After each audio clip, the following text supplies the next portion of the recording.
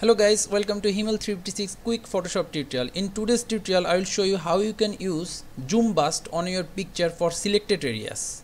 Most of the YouTube video you see that they are focusing on the center because center is the default effect. First I will show you the basic. What's the default? So select the layer, go to filter, then blur, then radial blur. This is your zoom effect this is the amount the default amount is around 10 and there can be a spin which will you use for ripple effect. That's all for here. So let's increase the amount. Change the effect from spin to zoom.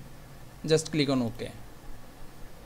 So this is the default which focus on the center let's focus for the selected area. Suppose you want the focus center to be here. So just go follow the same way. Radial blur. Click here hold and change the location. Press on ok. You see the location is changed. The center is here now.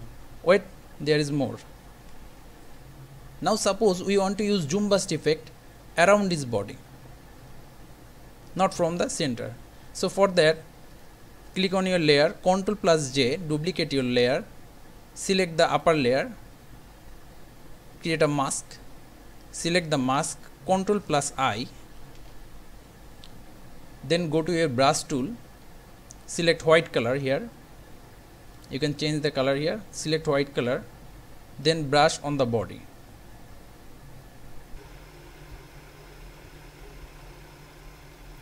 when it's done just select the first layer same go to filter then blur radial blur 35 zoom change the center to center around his body. So there's maybe around his body. So select on ok it's a little off so just ctrl plus j again. Change a little bit. Press ok. Now it's surrounding his body.